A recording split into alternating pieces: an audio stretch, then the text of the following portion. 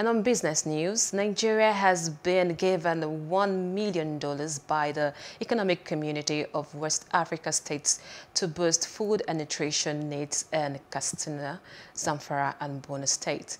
The fund was given to the United Nations World Food Programme in 2021 as part of an ECOWAS humanitarian assistance to the Nigerian government for victims of violent conflicts in the northwest and northeast. According to a statement by the WFP on Thursday, the fund was approved for Nigeria from the ECOWAS Regional Stabilization Fund and the federal government has sought the collaboration of the WFP in Nigeria to apply the fund to alleviate food and nutrition needs in Katsina, Zamfara and Borno states.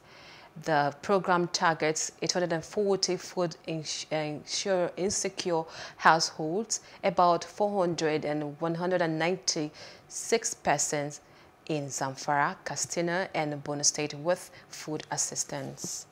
Please do subscribe to our YouTube channel and don't forget to hit the notification button so you get notified about fresh news updates.